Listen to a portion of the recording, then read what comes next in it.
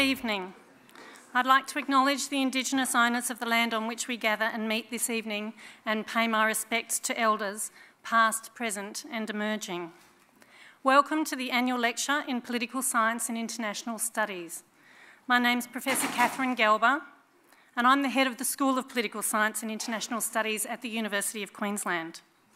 I'd like to welcome all of you this evening, including Senator the Honourable Penny Wong, Leader of the Opposition in the Senate and Shadow Minister, Senator Claire Moore, Senator for Queensland, Senator Murray Watt, Senator for Queensland, members of the Consular Corps, Mr Peter Varghese, AO, Chancellor of University of Queensland, members of the University Senate and the University's Senior Management Group, representatives from government and industry, distinguished guests, ladies and gentlemen. We are very honoured to host this event this evening, which we see as an important contribution to public debate on vital topics to do with governance and governing in the 21st century in Australia and globally. We see this event as a small attempt to enhance the quality of that debate. We're facing, facing a crucial time in international democratic politics when core liberal institutions are being challenged by forms of politics that seek to question their legitimacy, undermine their validity, and question the basis on which they operate. In some quarters, political rhetoric has become caustic, seeking to separate informed public debate from evidence and reasoning. Yet there are others who, in this context, are striving to address the balance and facilitate important conversations about where the country and the globe are headed. In that context, we're very proud to host this event, which seeks to help facilitate a political culture which promotes critical reasoning, independent thinking, and problem solving. A culture which rests on, requires even, evidence and facts a culture which supports and embodies the best of public discourse. And the reason we do this is because these are the kinds and standards of debates that we need. This is what will enable us all to meet and address current and future global challenges. And so we look forward this evening to an address, and without any further ado, I will ask the Chancellor of the University of Queensland, Peter Varghese, AO, to introduce our guest speaker this evening.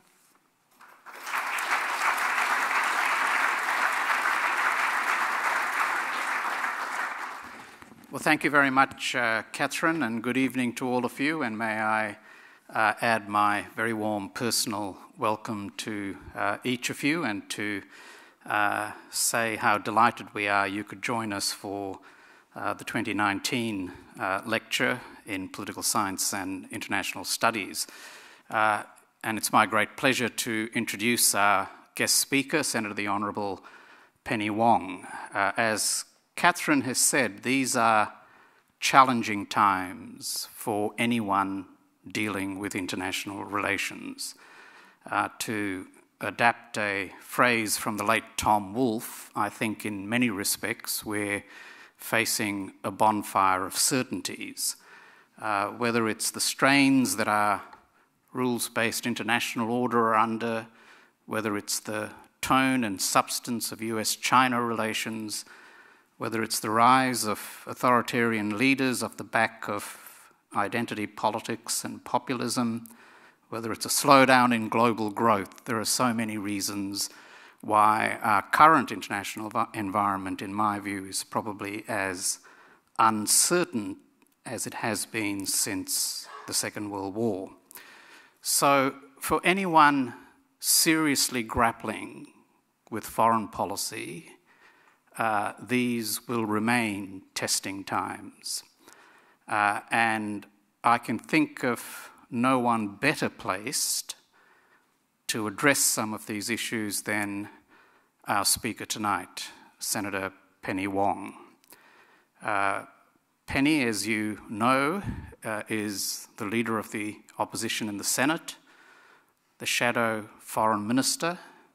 She brings to the job uh, a range of experiences, including as a senior minister in the Rudd and Gillard governments, uh, work earlier in her career as a lawyer in industrial relations and as a union official.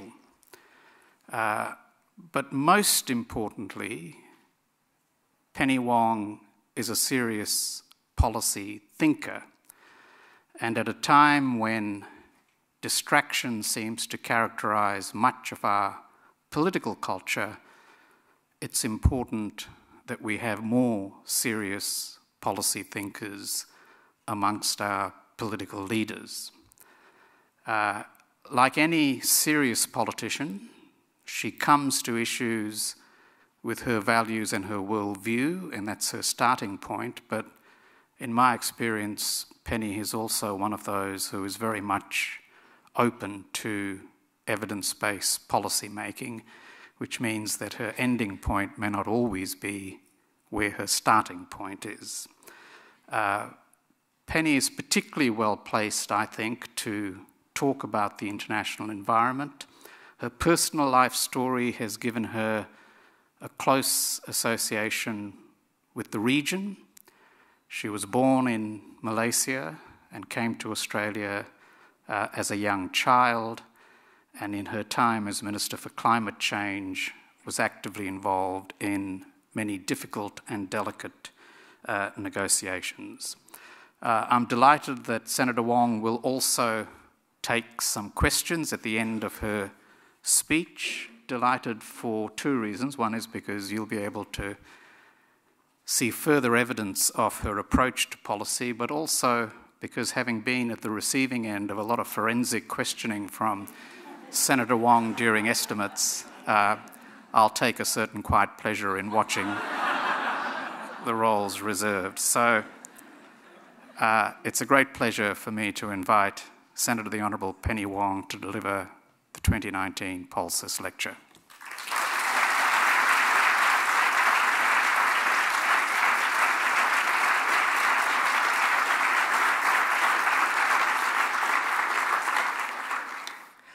Well, that was a very generous introduction, Peter. Thank you very much for that.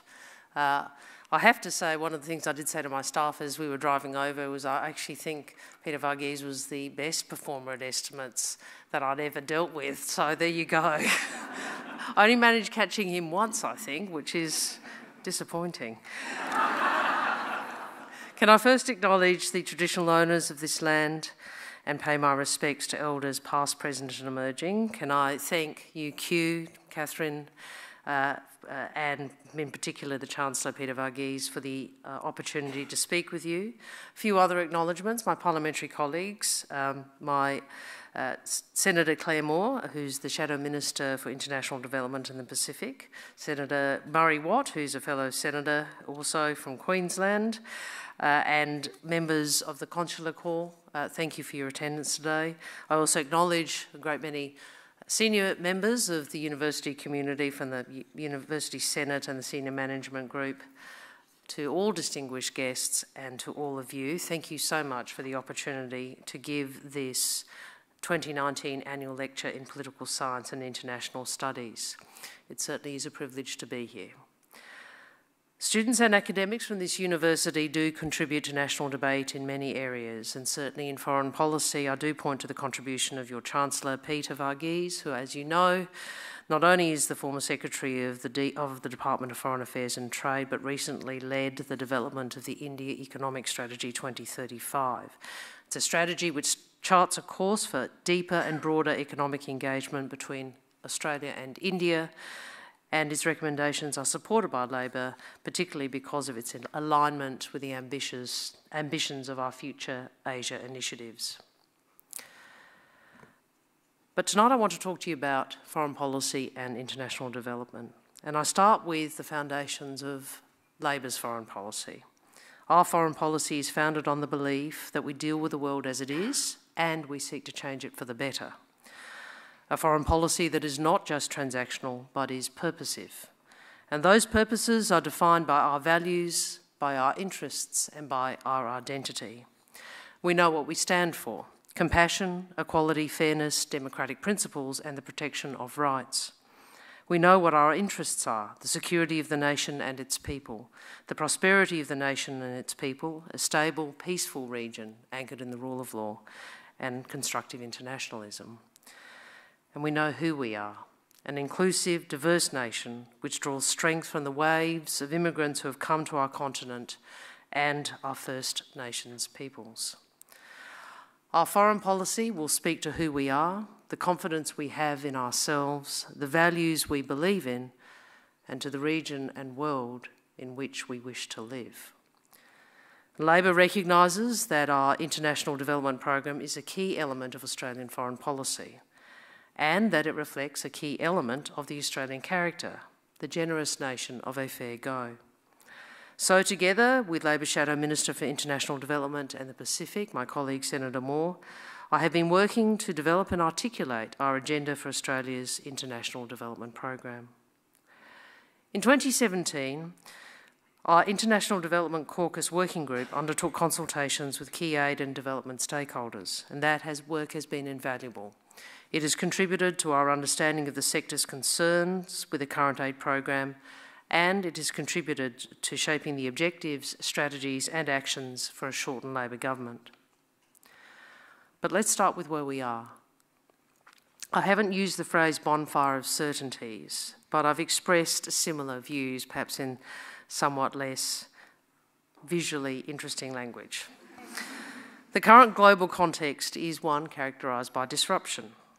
Changes in the balance of economic and strategic power, economic and social inequality, rising nationalism, challenges to the liberal based, rules based order, and many other factors are reshaping our world. This disruption is compounded by a humanitarian crisis of an unprecedented scale. Globally, over 65 million people are displaced, more than those displaced in the aftermath of World War II. And in these circumstances, Australia's international engagement, including our international development program, is of even greater importance.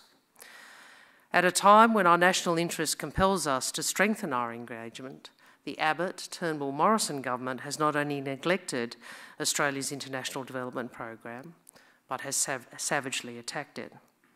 Since the, its election in 2013, the aid budget has been on an ever diminishing trajectory. Over $11 billion has been slashed from Australia's aid budget to date, including more than 140 million in the most recent budget update. Currently, overseas development assistance sits at 0.22% of gross national income. This is set to fall to 0.19% in 2021 22, and forecasts indicate that by 2026 2027, this figure will fall to just 0.16%, which is the lowest on record. That is 16 cents in every $100 of national income. The Minister for Finance recently confirmed this government's cuts to Australia's international development program amount to $80 billion over the medium term to 2028 29. These cuts have not only had a very real impact on the people who benefit from investments in areas like health and education, they have damaged Australia's reputation as a reliable partner in the region and lessened Australia's influence precisely at the same time our national interest compels us to engage more deeply. This government's willingness to cut aid to this extent means that repairing Australia's international development program is beyond our collective reach in the short term. We have consistently called for a return to bipartisanship, a bipartisan approach to Australia's international development program. Half a century of bipartisanship has been cast aside. And at a time when nationalism and populism is again on the rise, parties of government do need to come together to demonstrate that investment in international development does not come at the expense of domestic prosperity. Rather, it contributes to it. But those calls have gone ignored in a time of ultra partisanship, when the legitimate concerns of Australians struggling with low wage growth and cuts to services can be irresponsibly exploited to undermine the importance of our aid program. That this is being undertaken by the same people who have delivered record low wage growth and cuts to schools and hospitals underlines the cynical use of nationalistic rhetoric. Of course, this isn't a phenomenon uh, unique to Australia, with trends towards nationalism and populism sweeping democracies around the world, and these are driven by many factors. But one thing we do know is that inequality is a central factor. Labor's agenda of a fair go for all Australians is an expression of Labor values, but it is also necessary to protect the health of our democracy. By working to address inequality at home, we can foster the public support necessary to build Australia's international development program so that it once again reflects the generous spirit of the Australian people. And we must. The region requires it, and so too does our national interest. Labor believes Australia can show humanity, decency, and compassion to ensure a fair go for all at home, on our doorstep, and abroad. Australians are generous. In 2018, we ranked second in the World Giving Index behind only Indonesia, a reflection of the Australian willingness to help a stranger, donate to charity, and to volunteer. And our international development program should once again reflect the generous spirit of the Australian people. It is something we should be proud of. Development assistance must contribute to our national interests and reflect our values, and it can and should serve development objectives and broader strategic goals. Rather than seeing humanitarian and national interest goals as a binary, the starting point for our international development program should be the kind of region we want. A region which retains a system of institutions, rules, and norms to guide behaviour, enable collective action, and to resolve disputes. A region in which those seeking to make or shape rules do so through negotiation, not imposition. A region with an open trading system and investment transparency so as to maximise opportunity a region where outcomes are not determined only by power, a region where all people live in peace and prosperity. Now, we know that poverty alleviation is a necessary, although not sufficient, foundation of stability and prosperity. And democratic governance and human rights are critical to sustainable development and to lasting peace. So, a region with these characteristics reflects our national interests and our values. Supporting and strengthening such a region will require better coordination of Australia's engagement across government, NGOs, academia, and the private sector. Aid is a key enabler of development, but we must work to bring together other elements of Australian engagement diplomacy, trade, labour mobility, and private sector investment. Recognising this will require a change in mindset in both the Department of Foreign Affairs and Trade and the development sector. All of us with a stake in international development must come together and align our engagement so that Australia's contribution has maximum impact in these disrupted times. Better alignment and coordination will be a key imperative for an incoming Labor government.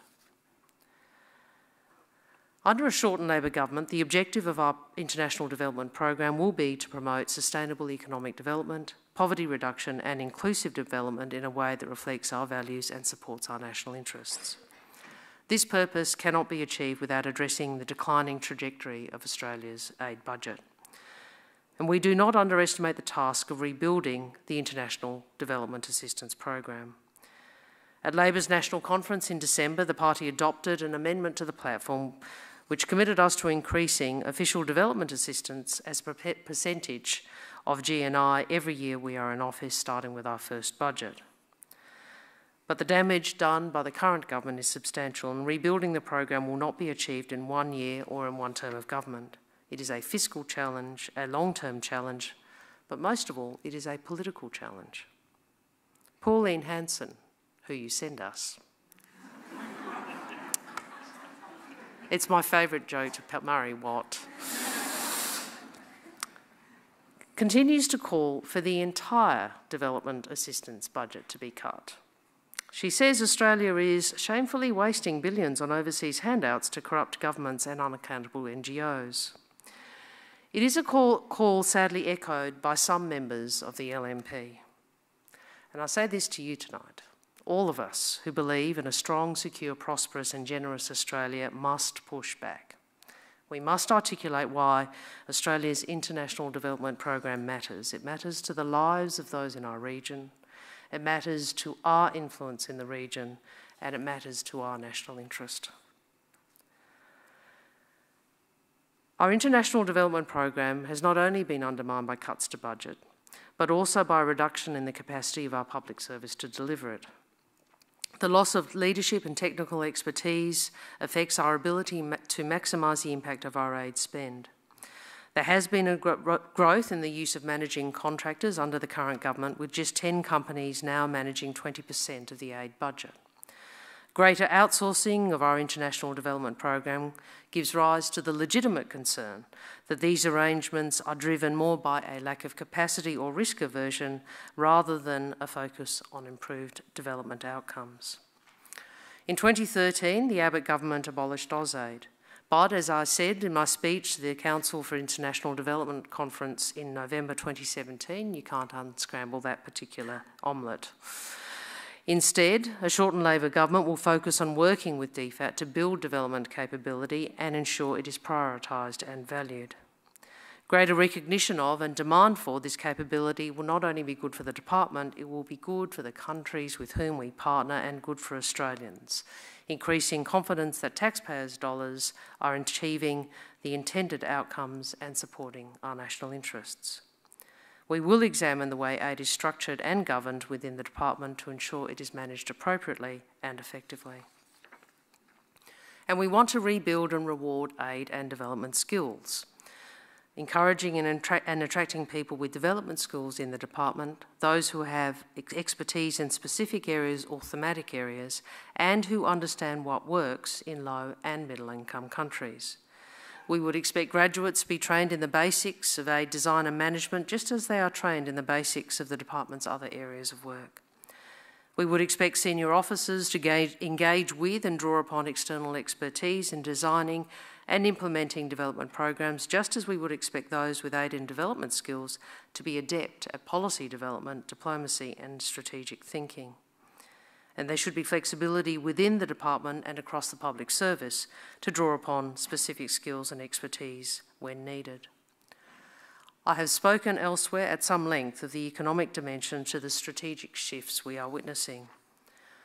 These give rise to two key imperatives. The first is a greater capacity within DFAT to integrate economic analysis and diplomacy as a core function and a stronger capacity to harness the various aspects of Australian economic engagement, both government and private sector, towards our strategic objectives. To this end, a Shorten Labor government will invest in the department's geo-economic capacity and expect that the new counsellor positions that we have announced will play a key role in country to ensure our development, trade, investment and diplomatic policies are integrated.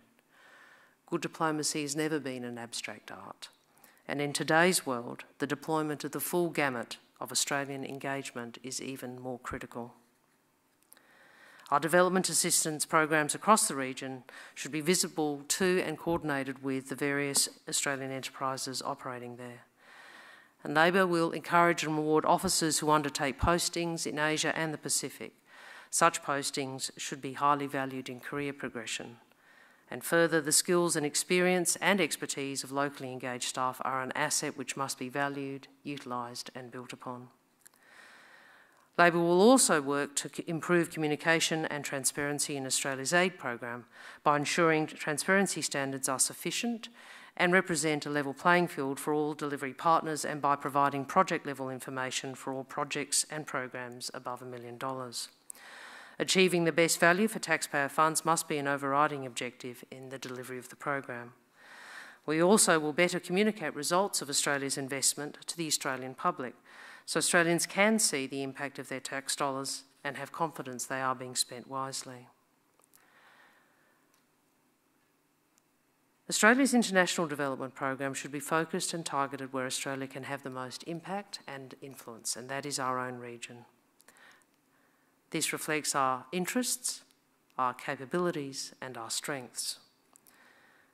Bill Shorten made clear that the, has made clear that the Pacific is a priority for Labor. We see the region as, in the words of the Pacific leaders, one blue Pacific continent, Australia's front yard. We believe in a deep and comprehensive partnership with Pacific nations in which Australia is a responsible and constructive partner we can be the natural partner of choice for, for Pacific nations, but we cannot take this for granted. In Papua New Guinea, one of our closest and most important neighbours, we invest over $550 million in aid annually. And we should all be concerned that despite this, PNG still has some of the poorest social and development indicators in the world. This apparent lack of return on investment leads some to advocate scaling back our aid budget even further but we can't turn our back on the real needs of some of our closest friends and neighbours. I do believe that this makes clear a fresh approach is needed. So, if elected, we will work in partnership with the Government of Papua New Guinea to examine whether our aid dollar is having the best impact possible. Unlike the coalition, Labor's increased focus on the Pacific will not come at the expense of key partners in South and Southeast Asia. In fact, it is irresponsible and counter to the national interest to raid programs in one group of partner nations to fund others. Supporting and building the Pacific region to the detriment of other nations won't serve our relationships, our influence, nor our long term prosperity and security. There are some who dismiss the need to continue giving aid to middle income countries. Can I say I disagree? As the World Bank outlines, middle income countries are a diverse group by size, population, and income level, home to 5 billion of the world's 7 billion people. They represent about one third of global GDP and are major engines of global growth. And they are also home to 73% of those living in poverty in today's world.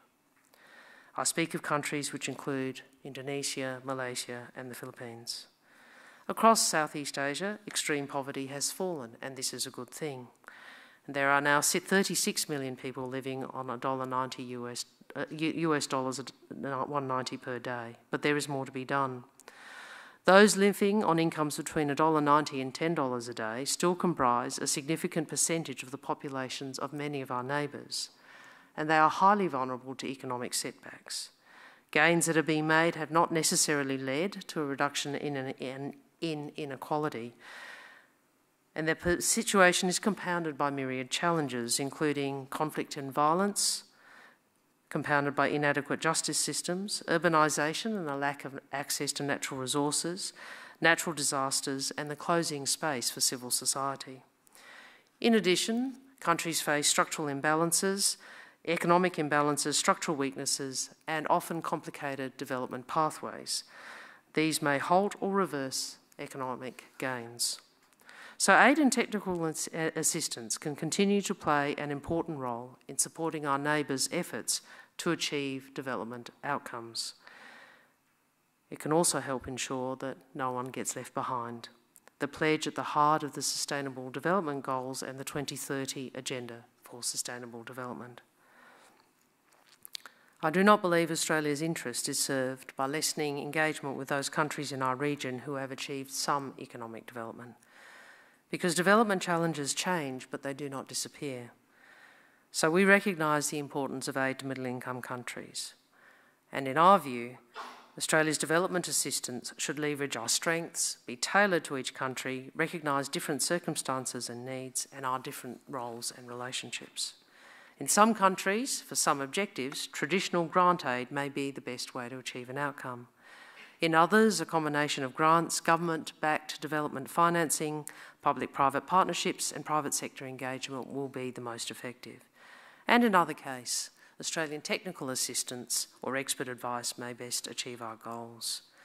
We want to work in partnership with our neighbours and we want to work in close coordination with like minded partners, leveraging our respective expertise, funding, and presence to enable an effective division of labour. So, just as I made the case for leveraging Australia's comparative advantage in the context of our trading relationships when I was trade spokesperson, we must also look to how Australia's strengths, experience, and expertise can be drawn on to maximise the benefit of our international development program. Health, education, climate change, infrastructure, and gender equality and inclusion will be central themes for Australia's International Development Program under Labor. And I want to focus initially on health, because health outcomes in our region continue to be unacceptable. The recent outbreaks of polio in Papua New Guinea are evidence of this.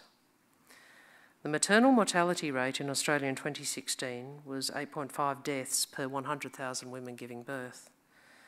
In Papua New Guinea, that number is 215. 99% of all maternal deaths occur in developing countries. Investment in healthcare and family planning improves individual well-being and contributes to prosperity and stability in communities and country. Aid can and does make a difference. For example, consider Timor-Leste. The infant mortality rate is 41 per 1,000 live births. That's still too high. It compares to 3.1 deaths per 1,000 live births in Australia, but it is down from 131 in 1990. So that is a lot of lives saved. A recent study by PwC for the Fred Hollows Foundation found that every dollar invested in vision contributes $4 to the local developing economy. And that's why when we were last in government in 2008, the Rudd Labor government deployed a consortium approach to deliver the Avoidable Blindness Initiative. Unfortunately, the Abbott Turnbull Morrison government has reduced annual aid expenditure on eye health by approximately 41% over the last four years. So, as part of our focus on health, I announced today that a Shorten Labor government will invest $32 million in a Pacific Avoidable Blindness and Vision Loss Fund. This investment will clear the backlog of cataract blindness across the Pacific. It will enable the treatment of over 19,000 people with the most severe cases of visual impairment, and it will train up to 600 additional health workers across the region to deliver programs on the ground. It is an initiative which plays to our strengths, and an initiative underpinned by a consortium approach with potential organisations including the Fred Hollows Foundation, Vision 2020 and the Royal Australian and New Zealand Colleges of Ophthalmologists. Climate change and infrastructure, this is an area I really do want to focus on if we are elected and an area which has been underdone given the ideological position taken by too many in the current government. We'll start with a central proposition, which is quality infrastructure is key to economic development and future prosperity, and we know that many in our region have substantial unmet need. So, in response, we need more innovative financing mechanisms in order to enable Australia to work in partnership with nations to provide them with the ability to meet their development aspirations. Last year, Bill Shorten announced that Labor intends to establish a government supported infrastructure financing facility, and we were very pleased when Mr Morrison subsequently announced similar intentions. I know there are some who are concerned in the sector about the model that the current government has outlined. Can I say a Labor government will work with the aid and development sector to ensure the implementation of a model that is fit for purpose and contributes effectively to our development goals in line with our values and national interests. But while this work continues, we would seek to utilise the mechanisms that are established by the current government as a starting point. But beyond funding, our support for infrastructure would also offer capacity building, job opportunities and training, support for governance and project management, and technical assistance to help achieve the right design arrangements and the right financing arrangements, including to ensure climate resilience. While much of the infrastructure financing will be focused on the Pacific, we have made clear that under a Labor government there will be opportunities to finance and assist with infrastructure in Southeast Asia as well. As a disaster prone region, we can support climate resilient infrastructure and systems. And we want to work with our neighbours to ensure their infrastructure is, is sustainable and resilient as we go forward. This is the right thing to do, but it is also part of our work to restore Australia's credibility and reputation as a creative, collaborative, and energetic, energetic member of the community of nations committed to addressing climate change. Because we recognise the reality of climate change. And we understand that it is a lived experience, particularly for many of our friends and neighbours. Supporting personal and financial security for women is critical to gender equality. And ultimately, the full participation of women in the economy and in government will be only achieved, will only be achieved when women are confident and secure in their most fundamental rights. I am concerned by the government's refusal to sign the UN International Women's Day statement, particularly by reports that we withheld support for the statement because of its access to safe abortion. Labor has made clear we believe reproductive choice and access to basic health care as integral parts of achieving gender equality.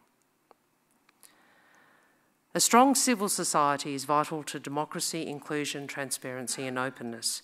It's vital to accountability and the protection of minorities and marginalised groups.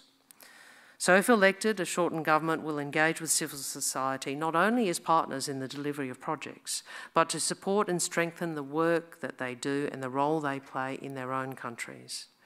And our engagement with civil society will include non government organisations, business and professional associations, unions, women's organisations, media, and religious institutions. Ensuring their viability is more pressing in the face of rising authoritarianism, the shrinking space for civil society, and increasing attacks on the freedom of the press across many parts of our region. So Labor will significantly increase the annual base grant for fully accredited NGOs in the Australian NGO Cooperation Program at a cost of $32 million over the forward estimates. It is an increase which reflects our commitment to working with NGOs to strengthen Australia's aid delivery, and it also reflects our recognition that non government organisations play a vital role in engaging with civil society to advance and protect those with disability, LGBTIQ, ethnic and religious minorities, and other human rights. Labor will also appoint a human rights ambassador. We want to build the capacity of trade unions abroad to ensure people have access to fair and decent work and rights at work are better protected. Our support for civil society also recognises the role and responsibility business has, both in enabling development and ensuring human rights are protected overseas. So we will de develop a national action plan on business and human rights and strengthen the national contact point. That is the body that works to address human rights abuses by Australian businesses and examines ways to provide better guidance to Australian companies on managing their requirements and their obligations. So I end where we started. We are living in a time of disruption and the magnitude and nature of change shapes Australia's strategic, economic, and foreign policy interests.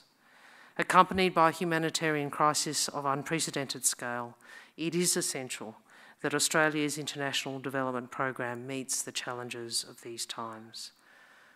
So, a Labor government will rebuild Australia's international development program we will reverse the declining trajectory of the budget. We will rebuild capability. And most of all, we wish to restore consensus.